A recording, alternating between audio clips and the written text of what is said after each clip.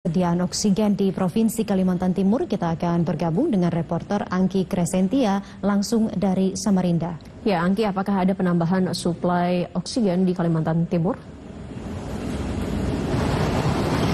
Ya, selamat siang Maya Laras dan Jus dan juga saudara dapat kami informasikan kepada Anda bahwa Menteri Koordinator Bidang Pembangunan Manusia dan Kebudayaan Menko PMK Republik Indonesia Muhajir Effendi melakukan kunjungan kerja selama dua hari di Kota Balikpapan yakni tepatnya pada 26 hingga 27 Juli 2021. Dan memang benar dalam kunjungan kerjanya Menko PMK menitik beratkan pada upaya-upaya penanganan COVID-19 termasuk terkait dengan persediaan oksigen di Kaltim dan juga Kaltara yang memang saat ini mulai mengalami keterbatasan dan keterbatasan pasokan oksigen ini terjadi dikarenakan dua wilayah ini yakni Kaltimra hanya memiliki tiga produsen oksigen.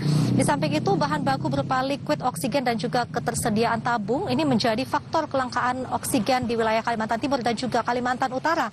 Dan untuk itu Menko PMK Muhajir Effendi berkomitmen untuk segelusi dan juga menangani persoalan keterbatasan oksigen. Salah satunya dengan mendatangkan oksigen dari produsen di luar Kaltimra sehingga dapat mencukupi suplai oksigen khususnya bagi pasien COVID-19. Dan tentu atensi Menko PMK untuk memastikan suplai oksigen terpenuhi sangat diapresiasi oleh pemerintah Provinsi Kalimantan Timur mengingat kebutuhan oksigen di Kalimantan Timur saat ini masih mengalami defisit 12 hingga 15 ton per hari.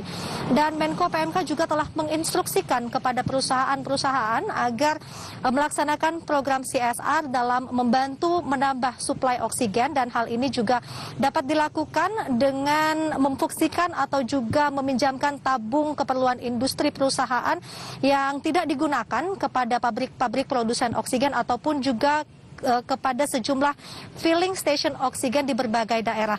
Dan tak berhenti di situ saja, Menko PMK Muhajir Effendi juga mengimbau kepada seluruh masyarakat khususnya memiliki cadangan tabung oksigen dan belum digunakan agar dapat membantu meminjamkan kepada warga yang lebih membutuhkan.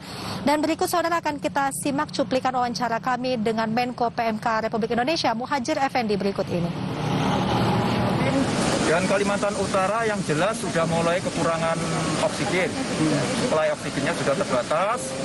Kenapa? Karena memang di sini hanya ada tiga produsen, produsen eh, yang juga jumlahnya sangat terbatas. Karena itu dari pihak produsen juga sudah berusaha untuk mendatangkan oksigen dari luar daerah, terutama dari Sulawesi, ada Sulawesi Tenggara, Sulawesi Tengah, dan Sulawesi Selatan, Sulawesi Utara.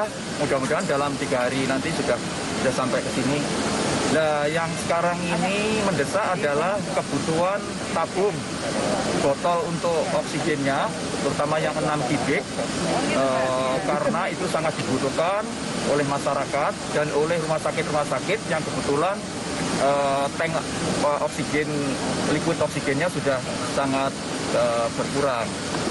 Di Kaltim dan Kalimantan Utara yang jelas sudah mulai kekurangan oksigen. Supply oksigennya sudah terbatas.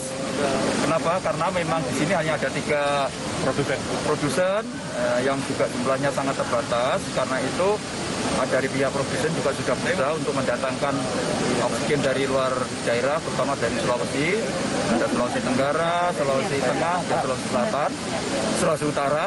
Mudah-mudahan dalam tiga hari nanti sudah sudah sampai ke sini. Nah, yang sekarang ini mendesak adalah kebutuhan tabung botol untuk oksigennya, terutama yang 6 kubik, eh, karena itu sangat dibutuhkan oleh masyarakat dan oleh rumah sakit-rumah sakit yang kebetulan eh, tank eh, oksigen, liquid oksigennya sudah sangat eh,